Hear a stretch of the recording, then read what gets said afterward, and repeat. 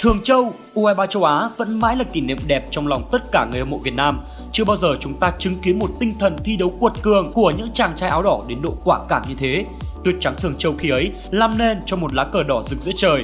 Hình ảnh Duy Mạnh cúi đầu trước lá cờ Tổ quốc trong trận chung kết tại Thường Châu trở thành một biểu tượng nhưng đó không phải là những gì cần nhớ về Duy Mạnh. Lá cờ đỏ thắm ấy khiến rất nhiều người quên rằng chàng trai trắng trẻo này thực sự là một chiến binh. Trên mảnh đất Trung Quốc, không một hậu vệ nào của U23 Việt Nam chơi tốt hơn Mạnh, không ai tạo được sự tin tưởng nhiều như Mạnh.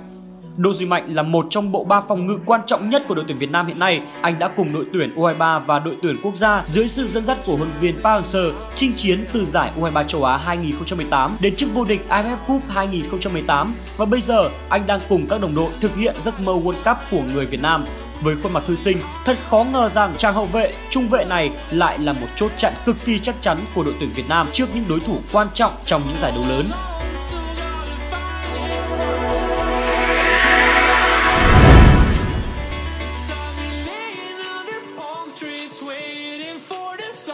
Đỗ Duy Mạnh sinh ngày 29 tháng 9 năm 1996 là cầu thủ bóng đá chuyên nghiệp người Việt Nam, trưởng thành từ lò đào tạo của Hà Nội FC. Anh cũng đang chơi ở vị trí trung vệ cho câu lạc bộ Hà Nội FC tại V-League, cũng như Quang Hải, Đình Trọng, Bùi Tiến Dũng hay bất kể tuyển thủ nào. Đam mê bóng đá của Duy Mạnh xuất phát từ khi cậu còn bé, là năm lớp 2, lớp 3 ôm khư khư trái bóng cho đến cột mốc 10 tuổi, Mạnh bỏ nhà ra đi cho một thứ tạm gọi là sự nghiệp, dù có hơi hào nhoáng. Trước khi thành danh ở vị trí trung vệ, Duy Mạnh từng thi đấu ở vị trí tiền vệ trung tâm và được nhiều chuyên gia đánh giá là rất tiềm năng. Cuối năm 2015, cầu thủ điển trai này đã lọt vào danh sách top 10 tiền vệ hay nhất khu vực do tạp chí 442 bình chọn, sánh ngang cùng những cái tên xuất sắc Đông Nam Á khác như Chanathip Songkrasin của Thái Lan, Safik Rahim của Malaysia và cả Aaron Moy của Australia. Khi đó, Duy Mạnh là lá bài quan trọng trong đội hình của huấn luyện viên Toshia Miura. Anh chơi khá tốt tại SEA Games 28 và vòng loại World Cup 2018. Ở cấp độ đội tuyển, anh được cho là người thay thế xứng đáng cho những đàn anh ở tuổi xế chiều. Và hiện nay, khi nhắc tới Duy Mạnh, người hâm mộ mặc nhiên coi anh là một trung vệ thép dưới thời huấn luyện viên Park Hang-seo. Đây vốn không phải là vị trí sở trường của cầu thủ cao 1m80 này tại câu lạc bộ Hà Nội. Dù cho có nhiều tiềm năng phát triển và thể hiện không tồi, nhưng Duy Mạnh khó có thể cạnh tranh với những tên tuổi vốn được đánh giá rất cao như Hector hay Đỗ Hùng Dũng. Bởi vậy, huấn luyện viên Chu Đình Nghiêm quyết định để anh lùi xuống chơi trung vệ khi đội bóng thủ đô gặp khủng hoảng nhân sự ở tuyến phòng ngự. Tới SEA Games 2017, thêm một lần nữa, Duy Mạnh trở thành người đóng thế huấn luyện viên Hữu Thắng buộc phải giật gấu vá vai khi những trung vệ không cho thấy sự an toàn cần thiết và anh chàng tuyển thủ gốc Hà Thành làm hài lòng vị thuyền trưởng của mình. Từ đây, Đỗ Duy Mạnh gần như được đóng đinh ở vị trí mới. Dù những thể hiện của anh chưa thể coi là hoàn hảo, bản thân anh cũng từng chia sẻ muốn được chơi ở vị trí tiền vệ trung tâm hơn nhưng khi cần đá trung vệ cũng không thành vấn đề.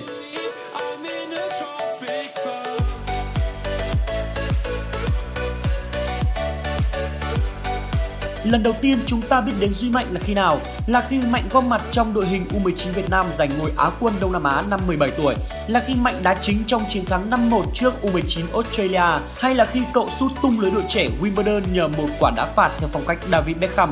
Hình như đều không phải bởi trong lứa U19 đình đám hồi năm 2014, Duy Mạnh chỉ là lựa chọn thứ yếu tại hàng tiền vệ. Cầu thủ của đội trẻ Hà Nội T&T chỉ là kép phụ trên một sân khấu mà Xuân Trường Tuấn Anh đã sớm là nhân vật chính.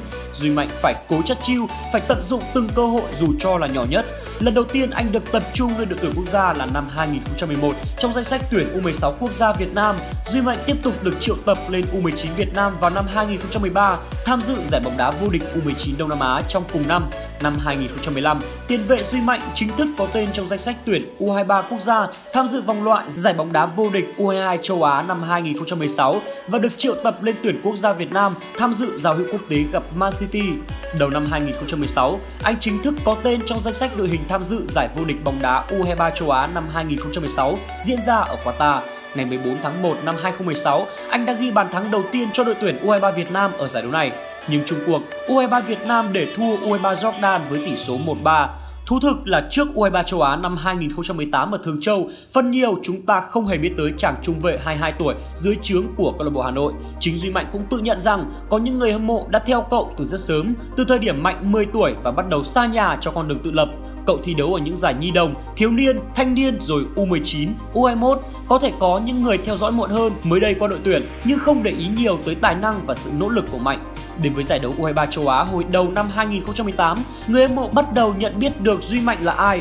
Anh trở thành một phần quan trọng của U23 Việt Nam trong chuyến hành trình tới Trung Quốc. Những chàng trai áo đỏ ra đi không kèn, không trống, bước ra châu lục với rất ít kỳ vọng, nhưng họ càng chơi càng hay. Mỗi trận đấu của U23 Việt Nam là một hành trình cổ tích và Duy Mạnh là nhân chứng cho chiến công lịch sử ấy.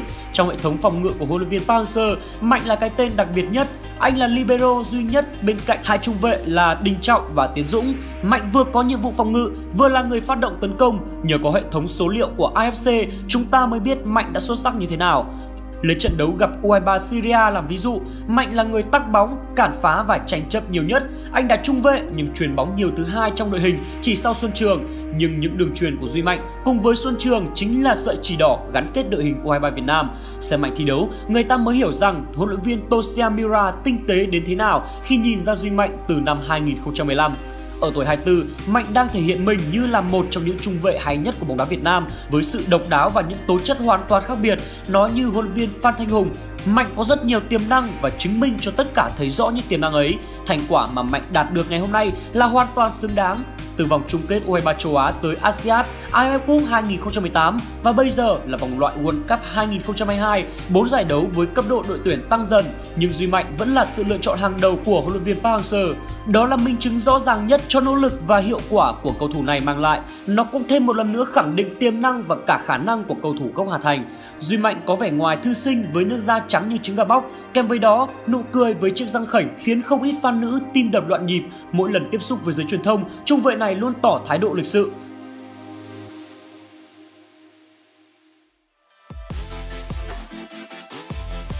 Trong nội bộ đội tuyển, Duy Mạnh thuộc nhóm em út, người ta thường thấy hình ảnh Mạnh bị anh em đồng đội bắt nạt lúc vui đùa. Có điều trong đó là tràn đầy tình cảm khăng khít và gắn bó. Trên sân, Mạnh thi đấu thông minh nhưng cũng đầy quyết liệt. Không nhiều lần, Duy Mạnh bị lọt vào ống kính giữa lúc lên gân bảo vệ đồng đội nhưng những khoảnh khắc đó thực sự cần thiết và nhận lại cái gật đầu của số đông.